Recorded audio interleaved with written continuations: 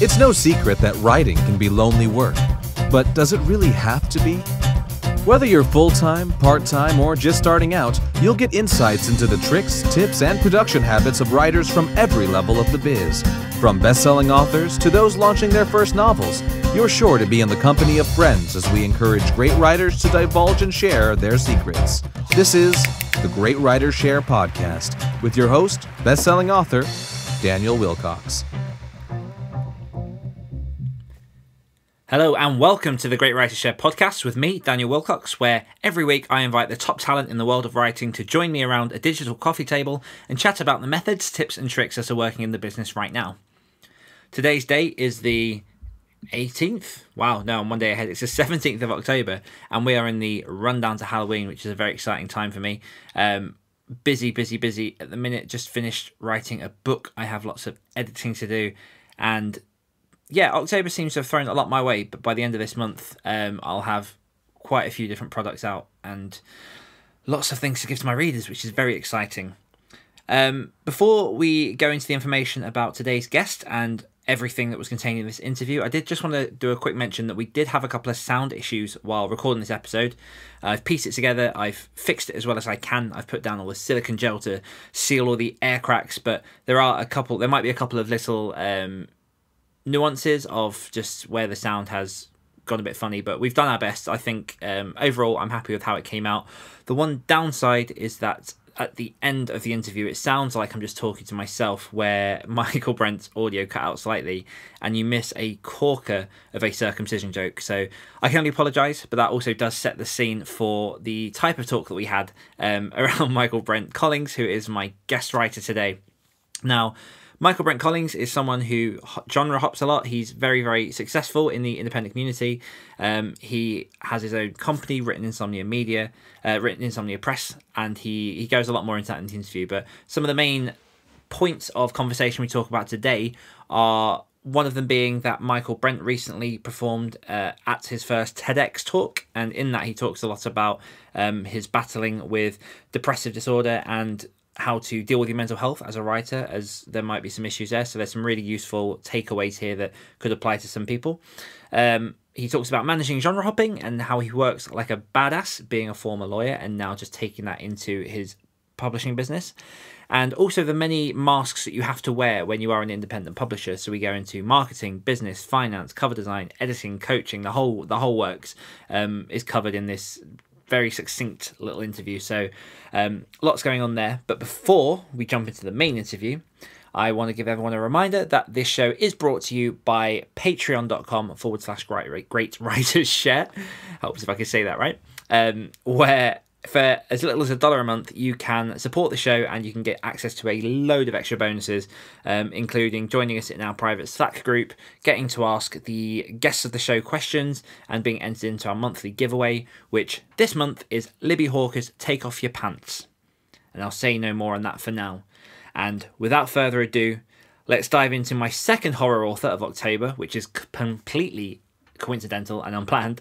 Um, but this fantastic and wide ranging interview with the wonderful Michaelbrent Collings. Enjoy.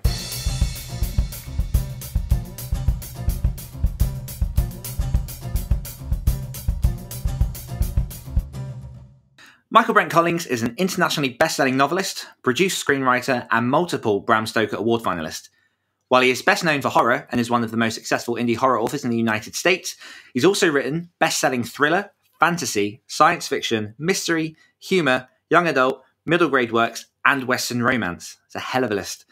As a novelist, Michaelbrent has written dozens of bestsellers that have received critical acclaim, and he and his work have been featured on everything from Mum Pop, Mum and Pop podcasts to Publishers Weekly, the San Francisco Book Review, NPR, and he's recently also given his first ever TED Talk at TEDx Rexburg.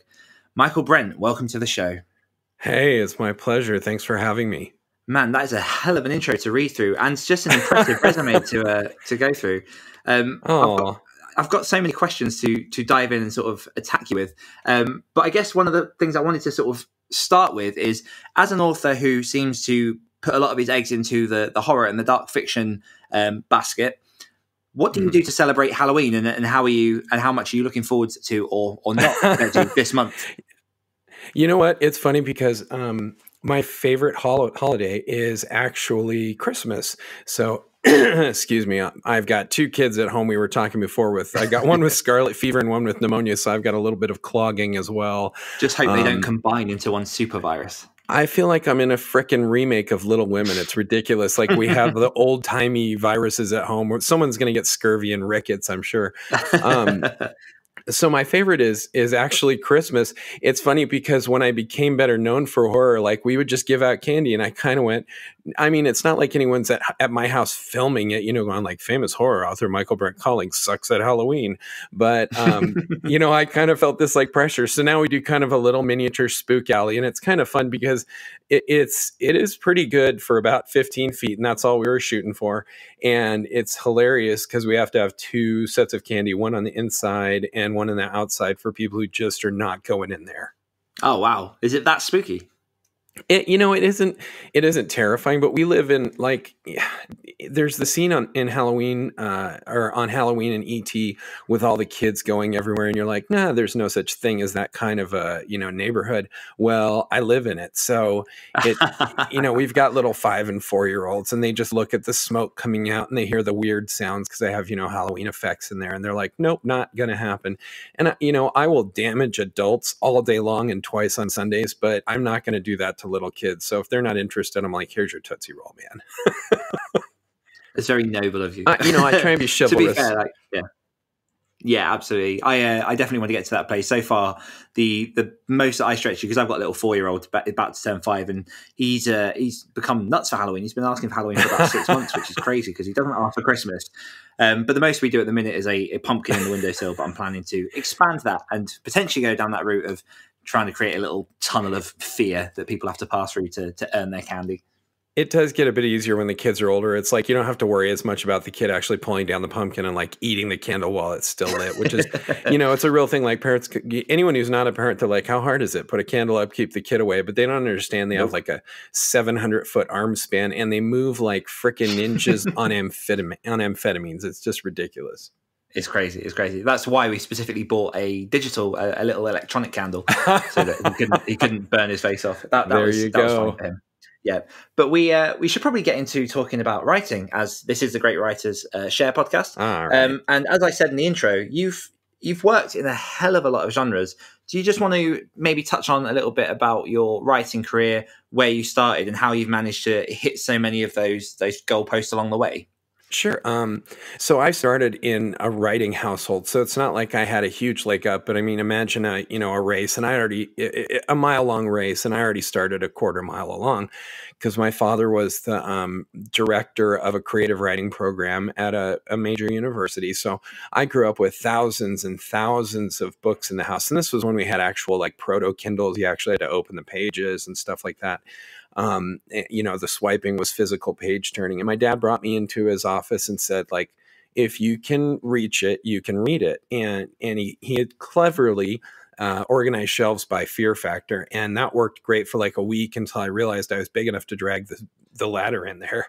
Um, so I just kind of read everything and and I grew up writing stories. I didn't I, I never wanted to make like a career of it. I never thought, oh, I'm going to be a writer. Um, I tell people the way I became a full time writer was I failed dismally at not being a full time writer. You know, um, I wanted to have regular jobs and be a normal guy, and I was a lawyer for a decade, and and, um, and none of those things worked out, and I just kind of tripped along, and the only thing I could sort of keep doing was writing, no matter what, um, through health issues, and I had some pretty major ones. Uh, or job loss or whatever it was, I could still write and and it just sort of grew from there. Um, and I write all these different genres because eh, I am best known for horror, and I kind of do a horror story and then a non-horror story and then a horror story and a non-horror story. But I've never thought of myself like I'm Michaelbrent, the horror writer. I've just thought of myself as just this storyteller who is lucky enough that people will pay for his stories, and that's kind of magic. Mm-hmm. Yeah, I've been um, something that's actually sort of gripped me quite a lot lately is listening to different podcasts, different writers, and just generally looking at because I'm I'm not going to go massively into my story at the minute just because I want the spotlight to be on you. But my personal journey at the minute means that I might potentially be jumping into another uh-huh. genre. And there's a lot of, um, I guess, mindset and mentality that goes behind that because you start to, the, the way that I see it, you either go down the route of being a writer who works within a particular genre and you're known as that genre as a writer, or you yeah. can create a brand behind your name which enables you yeah. to be free and write across all these different things. So how how have you managed that sort of transition? Because I, I imagine so, and I'm obviously not going to put words in your mouth, but I imagine at some point you started in a particular genre, so maybe the horror yeah. picked up quicker than the rest, and then you branch out into the others. How did you sort of manage that transition and make that work? Because oh, that's quite oh, difficult to do. Poorly, I manage it poorly. um, it, Excellent. It, it is hard. It, I will tell you. Here's the best part for me, honestly, is going to you know you go to Amazon and it says customers also purchased, and it's got like just the randomest assortment of things because depending on what I've just put out, it could be horror, it could be an urban fantasy. Usually, it's all of the above. And then if you go to my own Amazon page and you and you sort it by best rated, it is an urban fantasy, a horror, a romance. You know, it's like every single thing, and that's a lot of fun. It is hard.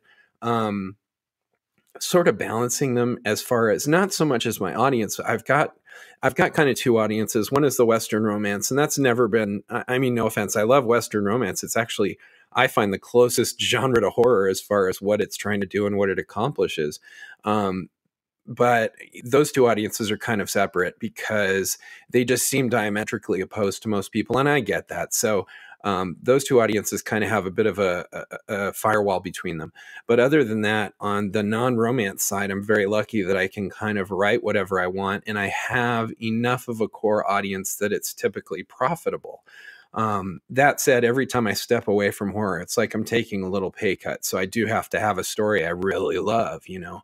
Um, like my next book that's coming out uh, on Halloween actually is called Scavenger Hunt, and that's just a horror thriller. And then after that, I'm releasing a um, middle grade young adult book, and I have to be able to say to my audience like, I know this isn't scary, but you're really gonna like it. So there's a little bit more of a sales pitch that goes into the non horror at this point, and that's fine. Um, I the hardest thing is keeping Amazon funneling my readers because they do not, you know, their artificial intelligence, their all their um, computing ideas kind of get thrown off when you mm-hmm. write everything and that does make it more difficult but you you roll with it so why do you write in so many different genres is it just because you love the idea of the, the story overall is it because you just don't want to be restricted to a particular genre uh, it's probably a little bit of both. I mean, I like I said, I love stories, and and if you go back through my writing, I actually just released a, a collection of my stories called Darkling Smiles, and I really in that I put out a never before published story I wrote when I was 18. And there's a, a real science fiction fantasy feel, but there's also horror in it. So I think because I grew up with this mishmash of writing, um, you know, I told you if I could read it, if I could reach it, I could read it. And then my dad noticed I was reading a lot of trash, basically, which you know he had nothing against, but he's like, let's round this out. So I, I, you know, I'd read a Piers Anthony, and then I'd read a Dickens, and then I'd read a King, which isn't trash, but he wanted, you know, the the less currently popular stuff. So I'd read a Dumas, and I just kind of flip flop back and forth, and that really um, gave me an appreciation of all these genres and of the fact that any story to be really really effective should have sort of a touch of all of it you know it should have humor it should have horror it mm-hmm. should have some romance not necessarily the kissy kissy kind but there should be characters who come to love and appreciate each other. So um, once you determine that, once you decide, well, I'm going to put a little bit of everything in, then you realize what, but I have to sell it as something. So I kind of look at the overarching picture and whatever that is, that's the the quote unquote genre. Uh, I'll market it as because all genre really is is which bookshelf uh, will it be on in Barnes and Noble or on the Amazon store. Um, so that's the big determiner is how to market it. Less what story am I going to tell? I just try and tell a bitchin' story. do you still read as much these days? I can imagine with sort of family life and obviously the by by looking through your website and everything that you do, you you keep yourself a, a busy man. How does your reading look this day these days? Is it dropped off somewhat? Is it still sort of up there as a priority or? Um, it, it's it, it kind of ebbs and flows. What I tell people is my reading, uh, my reading variety is limited only by the square footage of of my toilet tank tops, um, because and you know this as a father, it's like oh I'm going to go in my little tiny office with a lock and I'll just pretend yep. I'm pooping for like the next hour and a half, right? I'm um, so glad I'm not the only one. right? You've been in there a long time. I'm sick. Leave me alone. You know. Um, and that's life and and it is there's definitely days where i get home and i'm like i have a lot of books that i i have a to be read pile that's hitting close to a thousand and i'm not exaggerating wow. they're all books i'm supposed to read for this that reason you know for market research or because a friend asked me to or whatever it is and um and a lot of them are really cool looking and i get to the end of the day and i'm like i've already lived in my imagination all day long. I am super tired. I don't want to create any more word pictures, even when they're helped by someone else. I'm going to go blow crap up and play Fortnite, you know, and that's, mm-hmm. that's kind of how I detox. Fantastic. Um, one thing that you did mention earlier that I do definitely want to uh, sort of highlight a bit more and, and, go into because I watched your TED talk that you performed at TEDx Rexburg, uh-huh. um, which I thought was absolutely inspiring. I thought it was really, really well delivered, um, and definitely touched really well on one of the, I guess, one of the hottest subjects currently circulating the world at the minute, which is um, mental health and well-being. Right. What's your relationship with battling with mental health, um, and how would you sort of sum that up? well, it, it's just that I'm battling it. Uh, you know, on days where I'm not battling it, it's more like just kind of a creepy stalker. It's always sort of there in the background. Um, and that's the reality of if you have a mental health issue. Um, I have major depressive disorder with suicidal tendencies and, and psychotic breaks. And just saying that, a lot of people kind of, and I address this in the TEDx talk. A lot of people hear some of those and they're like, whoa, you're creepy and you're going to like, you know, come home and bite me or something. Um, and it's stuff that mostly affects me and those closest to me for better or for worse. So, um, my relationship is I get up every day and I try and get out of bed. And most days I manage it, and some days I just don't. And and the days I don't, um, you know, everything's black and dark and horrible, and and my poor family's going to put up with misery. And the best I can hope for on that day is to kind of go, but tomorrow maybe I'll get out of bed.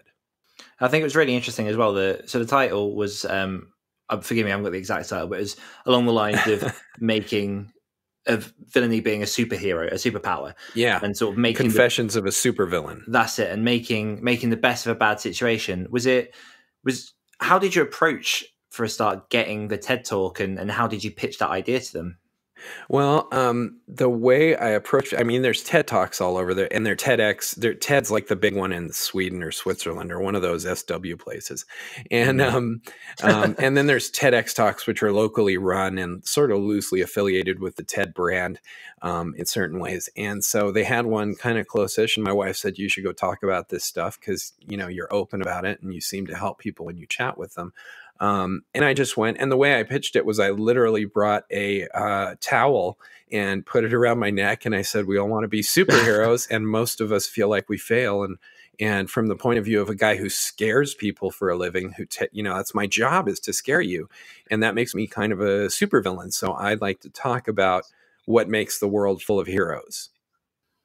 No, I think it was a. Uh like I say, the, the talk was absolutely fantastic. It's it's I mean, I personally can't say that I've ever suffered from that kind of mental health. So please, by all means, correct me if I do get any of this wrong, because I do want to represent mental health in the most accurate way possible, particularly to listeners who might be in similar situations or um, have sort of gone through depressive episodes while trying to write. And I, I, I just, if you'll allow me, just to dig a little bit deeper. Sure. How, as someone who does suffer from depressive disorder, how do you find that that uplift in order to try and see those um, episodes, I guess, as a a positive and to put that positive spin because you did such a fantastic job delivering all of that as a positive. And at the end of the talk, you sort of talk about all the minor things that people go through in their day in terms of sort of giving or sharing or just being there for people that positively mm. impacts other people. How how do you twist that mentality to go from that sort of negativity into that positivity? Because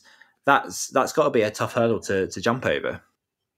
So uh, the the thing that people have to remember remember first of all is I was giving that talk on a good day, um, and it's really that's the thing that surprises people. And I think one of the things that's difficult for people who have mental health issues is you don't walk out into the street and interact with people typically on your rough days. So someone looks at someone who seems very extroverted and happy and they're like oh well you know they're being a baby or they don't really have this issue it's pretty obvious and you don't see them on the days where they curl up and weep so as far as you know what i did preparation wise is you kind of just get through it and and the secret to dealing with this is not stopping breathing. I tell people the secret to immortality is to breathe in every time you breathe out because in the movies it's always like this big tell my mom I love her.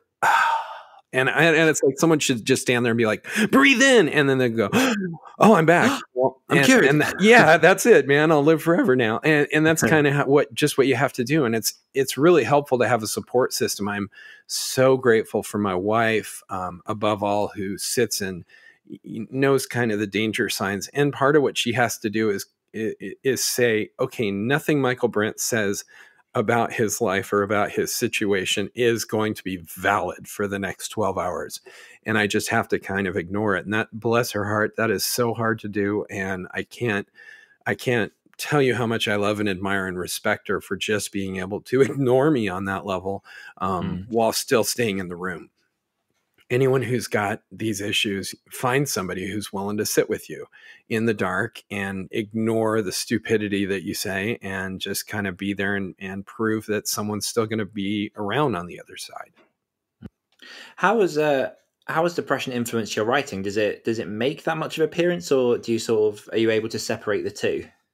Oh yeah, well it it, uh, it appears very much. Um, it, you know, as far as what depression is, it, a lot of it is just seeing the universe through a lens of hopelessness, and that certainly appears in a lot of fiction, not just mine, but everywhere. Good fiction, there should always be that moment of hopelessness. You know, that's the all is the lost moment mm. where the hero's not going to make it. Where um, you know Holly Gennero is grabbed by Hans and he's got a gun to her head, and John McClane has no bullets left, and you're like well, this is not going to work out. And then it does.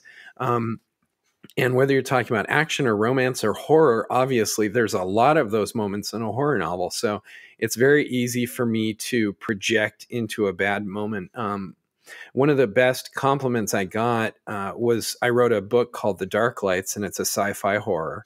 And in the story, the main character, his wife commits adultery.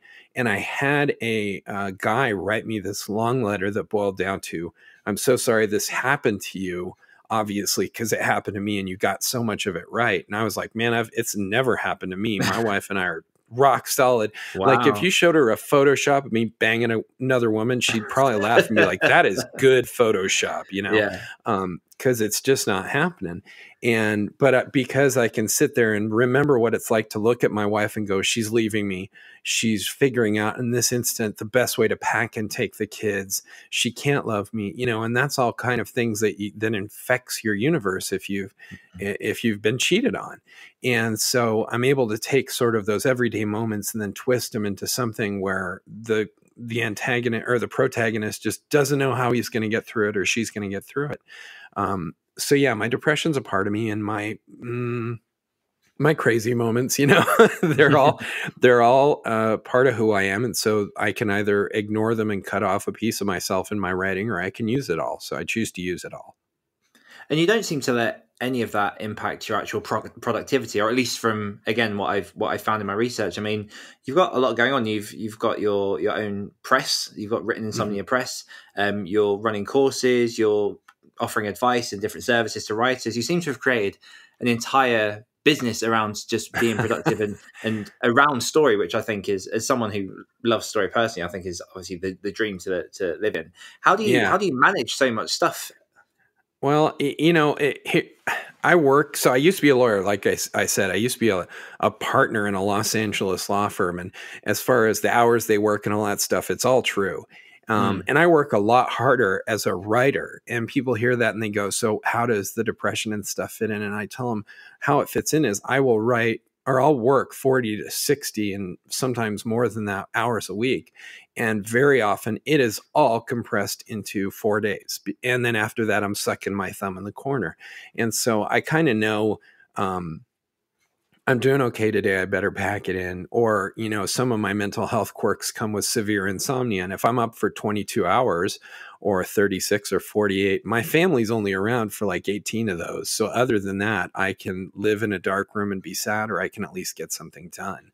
So. I, I try and get stuff done as much as I'm able. And then there's days where my wife's like, You are miserable go watch a movie because you kind of suck today, you know, and I'll go watch a movie on that day.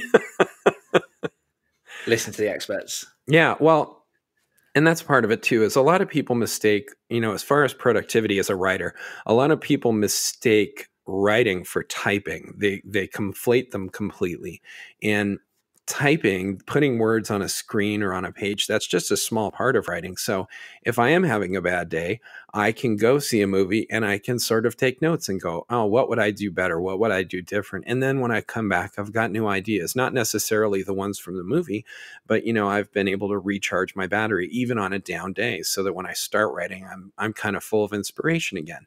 So um, there are days where, like I said, I'm I'm literally like in my closet, just in the corner, and my wife's job is to keep me from hurting myself.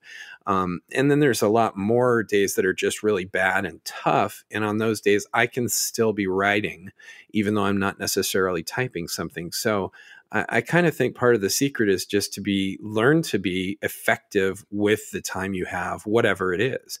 Um, hmm. and I learned that when I was a lawyer because I still was writing then, and I'd wake up very early and I'd go to work and I'd come home and play with my family. And then I'd start to write at 10 o'clock and I'd work till one or two and then get up at five the next morning and do the whole thing again. Mm. See, I find that really interesting because I I went full time as a writer um, in April of this year. So kudos. thank you very much. I'm uh, I'm much happier for it. um, you, you, don't realize how how much weight you're wearing of an old job until people physically tell you you look happier several weeks after leaving. Um, but one of the things that I have struggled isn't the right word, but one of the things I'm still getting used to is that uh, I do constantly feel like I'm switched on because yeah, it doesn't matter. I'll have my writing hours in the morning. I'll get those done. I'll sort of write until about midday or so. Um, I've got other things. I've got my marketing. I've obviously got this podcast that I work on, and I've got quite a lot of balls in the air with some of the projects I'm working on. Mm-hmm. And when people now ask me what my hobbies are, it's difficult to say because essentially my my hobby is my job, which is my hobby. So yeah, there's, there's a part of me that on some level feels guilty for not giving myself other things to do, but at the same time, I'm so enveloped in this world that is writing that yeah, I don't feel guilty for enjoying and loving the thing that I do. Yeah, no, and, and that's great. I mean, I think as far as you know, having all these balls in the air and and how you do things and and uh, your earlier questions about do I read and things like that, I, I, think it's really important to have a life. I think it's really important that you get out and not be a writer. Uh, at least some of the time, and most people who are, especially if you're starting, it's a it's a it's a startup business, and it takes a lot of time. But at the same time, like we were talking, you're a dad and I'm a dad, and just being a part of a family gives you an outside source of of inspiration and information. Um, mm. And I'm a I'm a very religious guy, so I have a church group. I'm actually the Sunday school president, which which people really give me kind of side eye at, given that I'm also this horror writer.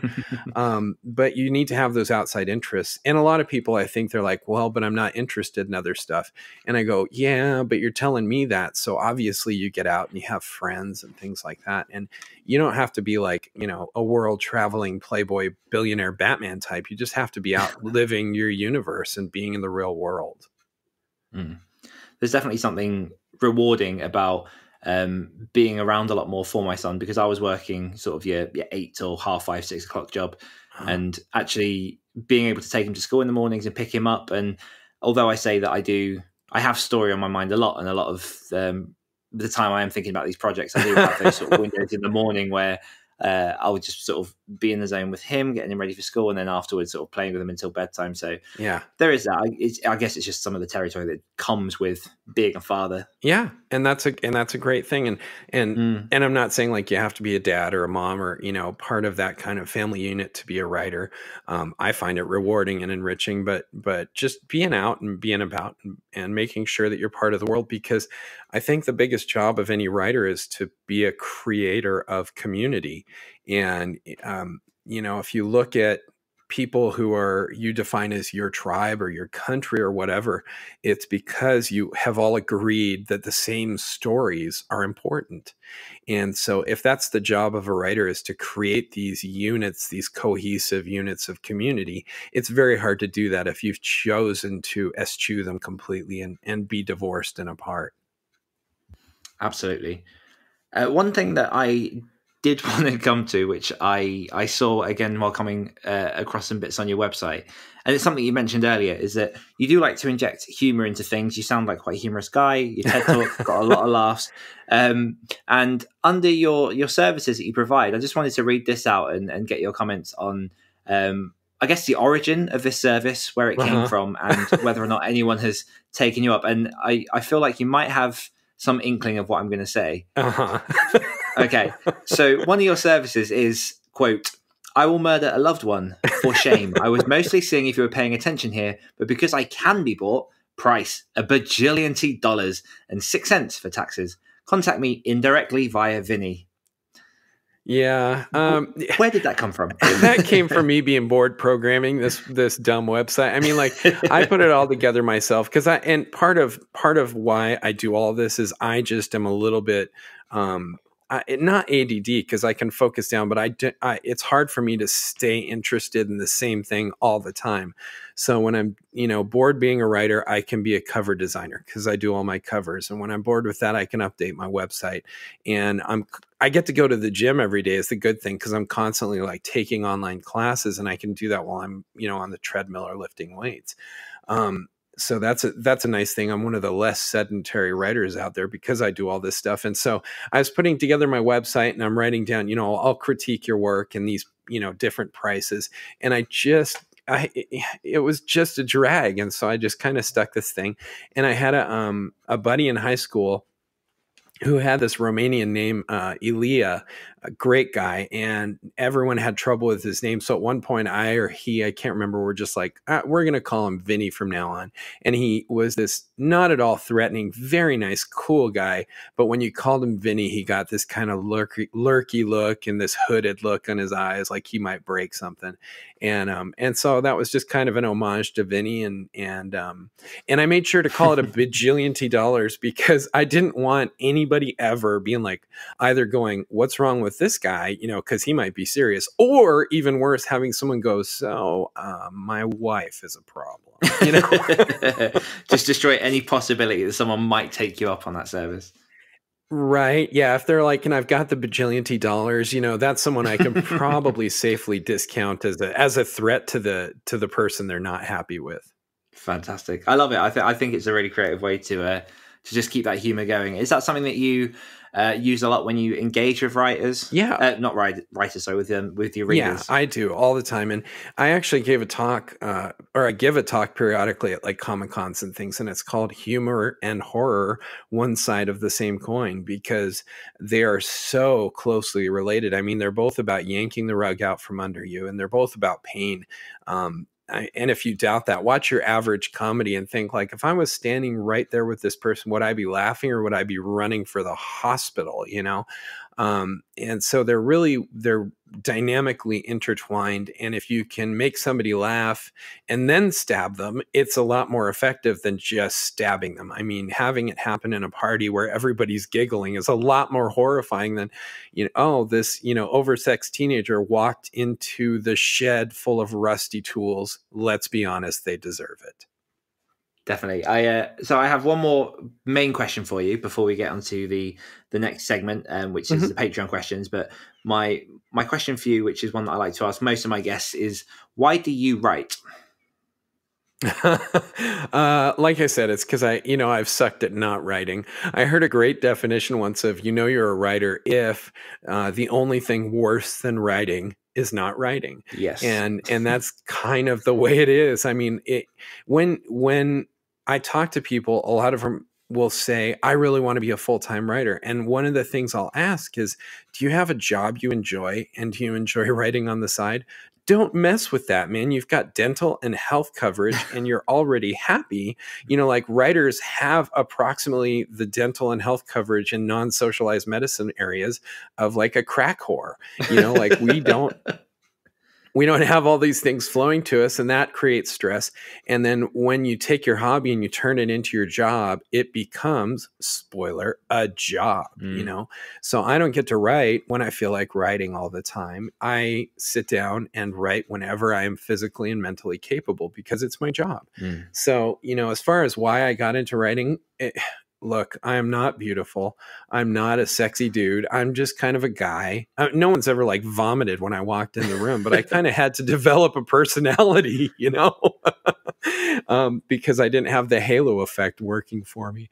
So I always like to tell stories, and I grew up in a storytelling house, and it just became part of my emotional and my mental uh, DNA. And so good luck getting me to not tell a story. And and since that's the case and I suck at everything else, I might as well try and make money off of it. I love it. I absolutely love that.